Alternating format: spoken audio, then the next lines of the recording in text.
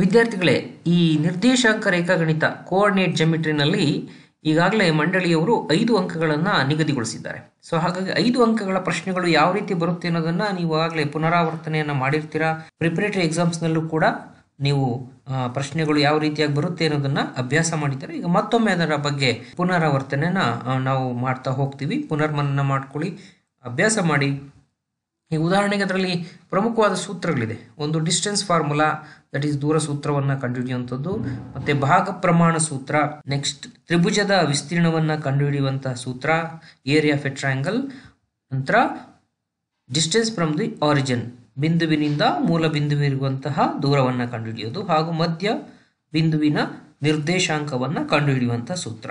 ಈ ದೂರ ಸೂತ್ರವನ್ನು ನಾವು ತೆಗೆದುಕೊಂಡ್ರೆ ಡಿಸ್ಟೆನ್ಸ್ ಫಾರ್ಮುಲಾ ತಗೊಂಡ್ರೆ ಯಾವುದೇ ಎರಡು ನಿರ್ದೇಶಕ ಬಿಂದುಗಳು ನಡುವಿನ ದೂರವನ್ನು ನಾವು ಕಂಡುಹಿಡಿಯಲಿಕ್ಕೆ ಈ ಫಾರ್ಮುಲಾವನ್ನು ಬಳಸ್ತೇವೆ. ಡಿ ಕೋಸ್ X two minus X one whole square plus Y two minus Y one whole square ಅಂತೇಳಿ ಇನ್ನು ಭಾಗ ಪ್ರಮಾಣ ಸೂತ್- ಸೂತ್ರ ಅಂದ್ರೆ ಸೆಕ್ಷನ್ ಫಾರ್ಮುಲಾ ಅಂತ ನಿಮ್ಗೆ ಗೊತ್ತಿದೆ. ಸೊ ಈ ಫಾರ್ಮುಲಾ ಏನು ಮಾಡುತ್ತೆ? ಒಂದು ಬಿಂದು, ಒಂದು ಸರಳ ರೇಖೆಯನ್ನು ಎರಡು ಭಾಗಗಳಾಗಿ ವಿಭಾಗಿಸುತ್ತೆ. ಅಂದರೆ ಎಂ ಒನ್ ಇಷ್ಟು ಎಂ ಟು ಎಂ ಒನ್ ಇಷ್ಟು ಎಂ ಟು ರೇಷಿಯೋದಲ್ಲಿ ವಿಭಾಗ ಮಾಡುತ್ತೆ. ಸೊ ಹಾಗಾಗಿ ಆ ಸೆಕ್ಷನ್ ಫಾರ್ಮುಲಾವನ್ನು ನಾವಿಲ್ಲಿ ಬಳಕೆ ಮಾಡ್ಕೊಳ್ತೀವಿ. ಸೊ ರೇಷಿಯೋ ಕೊಟ್ಟಾಗ ಸೊ ಎಂ ಒನ್ ಮತ್ತು ಎಂ ಟು ವಿಭಿನ್ನವಾದ ರೇಷಿಯೋಗಳನ್ನು ಕೊಟ್ಟಿರ್ತಾರೆ. ಅದಕ್ಕೆ ಅನುಗುಣವಾಗಿ ನಾವು ಸೆಕ್ಷನ್ ಫಾರ್ಮುಲಾವನ್ನು ಬಳಸ್ತಾ ಹೋಗ್ತೀವಿ. ಅದಕ್ಕೆ ಸಂಬಂಧಿಸಿದ ಲೆಕ್ಕಗಳನ್ನು ನೀವು ಮುಂದೆ ಅಭ್ಯಾಸ ಮಾಡ್ತೀರಾ.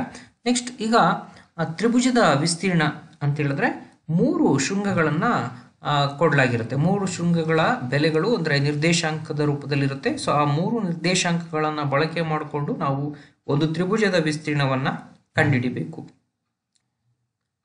ಮೂರು ವರ್ಟಿಸಿಸ್ಗಳನ್ನು ಕೊಟ್ಟಿರ್ತಾರೆ. ಸೊ ಆ ಮೂರು ವರ್ಟಿಸಿಸ್ಗಳು ಸರಳ ರೇಖಾಗತವಾಗಿವೆ ಅಥವಾ ಕೋಲಿನಿಯರ್ ಅಂತ ಅಂತ ಪರೀಕ್ಷೆ ಮಾಡಿದಾಗ ನಾವು ಏರಿಯಾವನ್ನು ಝೀರೋ ಅಂತ ತಗೊಂಡು ಮಾಡುವಂತಹ ಲೆಕ್ಕಗಳು ಇದರಲ್ಲೇ ಕೂಡ ಬರುತ್ತೆ. ಈಗ ಉದಾಹರಣೆಯಾಗಿ ನಾನು ಒಂದು ಲೆಕ್ಕವನ್ನು ತೆಗೆದುಕೊಳ್ತಾ ಇದ್ದೀನಿ. ಲೆವೆನ್ ಕಮ ಫೈವ್ ಈ ನಿರ್ದೇಶಾಂಕ ಬಿಂದು ಮೂಲ ಬಿಂದುವಿನಿಂದ ಎಷ್ಟು ದೂರದಲ್ಲಿದೆ? Find the distance point from the origin eleven five ಅಂತೇಳಿ ಅಂದರೆ ಎಕ್ಸ್ನ ಬೆಲೆ ಲೆವೆನ್ ಅಂತ ತಗೊಳ್ತೀವಿ ವೈನ ಬೆಲೆ ಫೈವ್ ಅಂತ ತಗೊಳ್ತೀವಿ. ಎರಡು ಬಿಂದುಗಳ ನಡುವೆ ಇರುವಂತಹ, ಅಂದರೆ ಇದು ಆರಿಜನ್ ಆಗಿದ್ದರೆ ಇದು ಆರಿಜನ್ನಿಂದ ಎಷ್ಟು ದೂರದಲ್ಲಿದೆ ಅಂತೇಳಿ so that is zero zero coordinate ಯಾವಾಗಲೂ ಆರಿಜನನ್ನು ರೆಪ್ರೆಸೆಂಟ್ ಮಾಡುತ್ತೆ. ಸೊ ಇದು ಲೆವೆನ್ ಕಾಮ ಫೈವ್ ಅನ್ನೋದು ಇನ್ನೊಂದು ಬಿಂದು. ಸೊ ಇವೆರಡರ ನಡುವಿನ ದೂರವನ್ನು ನಾವು ಲೆಕ್ಕಾಚಾರ ಮಾಡೋದಾದರೆ the formula is D equals root of X square plus Y square substitute ಮಾಡ್ತೀವಿ. ಎಕ್ಸ್ ಅಂತ ಹೇಳಿದ್ರೆ eleven eleven square Y is five square one twenty one plus twenty five we get root of one forty six ಅಂದರೆ ಈ ಎರಡು ನಿರ್ದೇಶಾಂಕ ಬಿಂದುಗಳು ಏನಿದೆ, ಇವುಗಳ ನಡುವಿನ distance root of one forty six ಆಗಿರುತ್ತೆ. Find the distance point from the origin is three comma four ಮೂರು ಕಮ ನಾಲ್ಕು ನಿರ್ದೇಶಾಂಕ ಬಿಂದುವು ಮೂಲ ಬಿಂದುವಿನಿಂದ ಎಷ್ಟು ದೂರದಲ್ಲಿದೆ ಅನ್ನೋದನ್ನು ಫೈಂಡ್ ಔಟ್ ಮಾಡಬೇಕು. ಸೊ ಇಲ್ಲಿ ಎಕ್ಸ್ ಅಂತೇಳಿ ಮೂರು ತಗೊಳ್ತೀವಿ ವೈ ಈಕ್ವಲ್ಸ್ ಫೋರ್ ಅಂತ ತಗೊಳ್ತೀವಿ. Distance formula that is D equals root of X square plus Y square D equals three square plus four square substitute ಮಾಡಿದ್ದೀವಿ.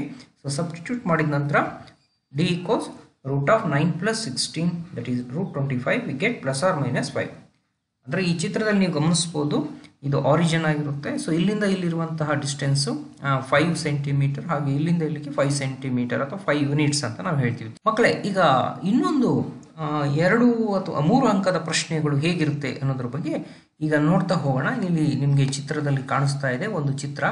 ಈ ಪ್ರಾಬ್ಲಮ್ ಹೇಗಿದೆ.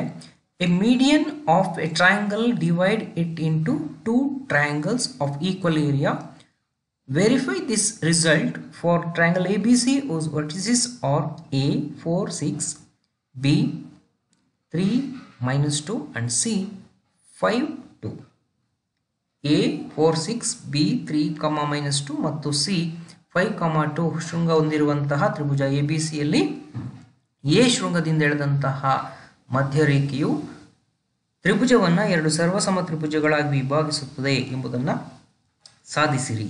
ನಾವು ಮೊದಲೇನು ಮಾಡಬೇಕಾಗಿದೆ? ಬಿ ಸಿ ಬಾಹುವಿನ ಮಧ್ಯಬಿಂದುವನ್ನು ಗುರುತಿಸ್ಕೊಳ್ಬೇಕು. ಯಾಕೆಂದರೆ ಇದು ಮಧ್ಯರೇಖೆ ಆಗಿರೋದ್ರಿಂದ to find the mid point of the B C in M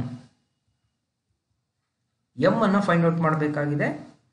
coordinate B ತಗೊಳ್ಳೋಣ three comma minus two and C five comma minus five comma two so three ಅಂತ ಹೇಳಿದ್ರೆ X one Y one X two Y two ಅಂತ ನಾವು ಅದನ್ನು note ಮಾಡ್ಕೊಳ್ಳೋಣ.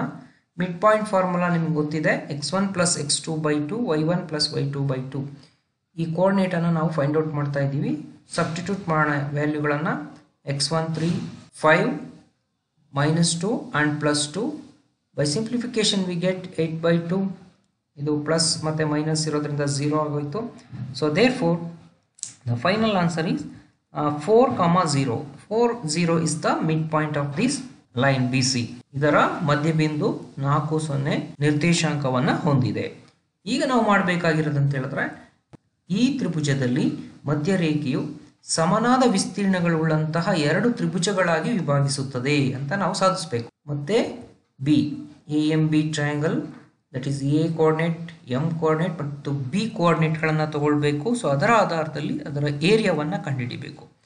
How to find the area of a triangle you know that ಈ ಮೂರು ವರ್ಟಿಸಸ್ಗಳನ್ನು ತಗೊಳ್ತೀರಾ? ಮೂರು ವರ್ಟಿಸಸ್ಗಳಲ್ಲಿ X one Y one X two Y two X three Y three ಈ ಕೋಆರ್ಡಿನೇಟ್ಗಳನ್ನು ಫಾರ್ಮುಲಾ ಏನು ನಿಮ್ಗೆ ಗೊತ್ತಿದೆ? Area of a triangle formula half into X one Y two minus Y three plus X two Y three minus Y one plus X three Y one minus Y two so ಈ ಚಿಹ್ನೆಗಳನ್ನು ಬಹಳ ಮುಖ್ಯವಾಗಿ ನೀವು ಎಕ್ಸಾಮಲ್ಲಿ ಬರೀಬೇಕಾಗ್ತದೆ. Bracket ಎಲ್ಲಿರಬೇಕು? X one ಆದ ತಕ್ಷಣ ಬ್ರಾಕೆಟ್ ಓಪನ್ ಆಗಬೇಕು ನೀವು. ಹೆಚ್ಚು ಪ್ರಾಕ್ಟೀಸ್ ಮಾಡಿದರೆ ಎಲ್ಲೂ ಕೂಡ ತಪ್ಪುಗಳಾಗೋದಿಲ್ಲ ನಂತರ ಸಬ್ಸ್ಟಿಟ್ಯೂಟ್ ಮಾಡೋಣ. ಎಲ್ಲ ವ್ಯಾಲ್ಯೂಗಳು ಏನು? X one value X two value ಮತ್ತು X three value Y two Y three ಈ ನಿರ್ದೇಶಾಂಕಗಳನ್ನು ಸರಿಯಾದ ಸ್ಥಳದಲ್ಲಿ ಆದೇಶ ಮಾಡಬೇಕು. ಒಂದು ವೇಳೆ ನೆಗೆಟಿವ್ ಇದ್ದರೆ ಉದಾಹರಣೆಗೆ ವೈ ತ್ರೀ ಮೈನಸ್ ಟು ಅಂತಿದೆ. ಹಾಗಾಗಿ ನೀವು ಇಲ್ಲಿ ಮೈನಸ್ ಫಾರ್ಮುಲಾದಲ್ಲೇ ಇದೆ. ಸೊ ವ್ಯಾಲ್ಯೂ ಕೂಡ ಮೈನಸ್ ಆಗಿರುತ್ತೆ. ಅದನ್ನು ನೀವು ಹೆಚ್ಚು ಗಮನಿಸ್ಕೊಳ್ಬೇಕು. ನಂತರ ಅದನ್ನು ಸಬ್ಸ್ಟಿಟ್ಯೂಟ್ ಮಾಡಿದ ನಂತರ ಸಿಂಪ್ಲಿಫಿಕೇಶನ್ ಹೀಗಿದೆ. ಆಫ್ ಇಂಟು ಸೊ ಇಲ್ಲಿ minus into minus plus two ಆಯಿತು. ಸೊ ಇಲ್ಲಿ ಕೂಡಿದ್ದೀವಿ ಮೈನಸ್ ಏಯ್ಟ್ ಆಗಿದೆ. ಇಲ್ಲಿ ಝೀರೋ ಇರೋದ್ರಿಂದ ತ್ರೀ ಸಿಕ್ಸ್ ಏಯ್ಟೀನ್ ಆಯಿತು. ಇದು ಇವೆರಡನ್ನ ಆ್ಯಡ್ ಮಾಡಿ ಫೋರಿಂದ ಮಲ್ಟಿಪಲ್ ಮಾಡಿದ್ರೆ minus thirty two finally we get the answer is minus three that is area of a triangle A M B equal three square units ಅಥವಾ ಮೂರು ಚದರಮಾನಗಳಾಗಿದೆ. ಈಗ ನಾವು ಮತ್ತೊಂದು ತ್ರಿಭುಜ ಎ ಎಂ ಸಿ ಅನ್ನು ಕೂಡ ಫೈಂಡ್ ಔಟ್ ಮಾಡಬೇಕು. ಎ ಎಂ ಸಿ ತ್ರಿಭುಜವನ್ನು consider ಮಾಡ್ತಾ ಇದ್ದೀನಿ. ಸೊ ಎ ಎಂ ಮತ್ತು ಸಿ ಈ ಶೃಂಗಗಳನ್ನು ಹೊಂದಿರುವಂತಹ ತ್ರಿಭುಜದ ವಿಸ್ತೀರ್ಣವನ್ನು ಕಂಡುಹಿಡಿಯಬೇಕು. Find the area of triangle A M C A M ಸಿಗೆ ಸಂಬಂಧಿಸಿದಂತಹ ಶೃಂಗಗಳನ್ನು ಪರಿಗಣಿಸೋಣ. A M C therefore ಇಲ್ಲಿ ಎ ಫೋರ್ ಸಿಕ್ಸ್ ಆಗಿದೆ B A four six M four comma zero and C five two ಅಂತ ಇದೆ. ಅದಕ್ಕೆ X one Y one X two Y two X three Y three ಅಂತ ಆದೇಶ ಮಾಡೋಣ. ಫಾರ್ಮುಲಾದಲ್ಲಿ substitute ಮಾಡಿದಾಗ ನಮಗೆ by simplification we get that is minus two ಇಲ್ಲಿ ಸಿಕ್ಸ್ ಟು ಮೈನಸ್ ಸಿಕ್ಸ್ ಅಂತ ಹೇಳಿದ್ರೆ ಮೈನಸ್ ಫೋರ್ ಆಯಿತು. ಇಲ್ಲಿ ಸಿಕ್ಸ್ ಸಿಕ್ಸ್ ಫೈವ್ ತರ್ಟಿ ಆಯಿತು.